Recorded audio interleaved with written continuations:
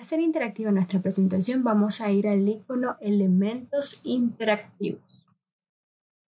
Nos permite poner botones, botones de texto, marcadores, redes sociales, números y letras. En este caso yo voy a poner botones. Damos clic en el botón que más nos guste. Por ejemplo, voy a usar este botón para continuar a la siguiente página. Podemos colocarlo a un lado de nuestra presentación donde no se note mucho. Y lo que haremos es dar clic en esta manito y automáticamente nos aparece esta ventana. Para escoger el tipo de interactividad de nuestro botón. En este caso existe etiqueta, ventana, ir a página, enlace. Pero yo voy a usar el ir a página. Damos clic y quiero que vaya a la siguiente página, que es la página número 2. Damos clic y damos en guardar. Ahora vamos a poner una interactividad en nuestro texto. Por ejemplo, en agricultura damos clic en la manito y usaremos etiqueta.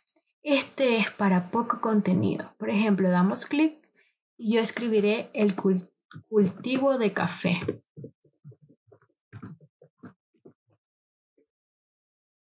Igual se puede cambiar a negrita, el color, el tipo de texto, damos en guardar. Entonces, cada vez que nosotros pasemos el mouse en nuestro texto, aparecerá una etiqueta que dirá cultivo de café. También podemos animar nuestro texto. Para eso damos clic en el siguiente botón y nos aparecerá un menú en la parte derecha de entrada, salida, continuo, ratón encima. Entrada los efectos son los siguientes. Aparecer, bote, encender y otros más. En este momento yo voy a usar aparecer. También le voy a dar una animación de salida para que cuando cambie nuestra página también salga nuestro texto. Y le daré en desaparecer. Tienes la opción de velocidad para ver qué tipo de velocidad quieres que vaya tu animación.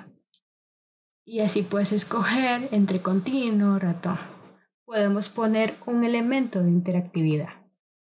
Por ejemplo, ahora vamos a usar el elemento de la casita. Este elemento de la casita nos permite ir a la portada. Entonces lo que haremos es dar clic en la manito, ir a la página y dar clic en portada. Damos guardar y es cuando damos clic en la casita iremos a la portada. Todo va a depender de tu creatividad, de tu forma, de cómo quieres hacer tu presentación para que se mire más animada.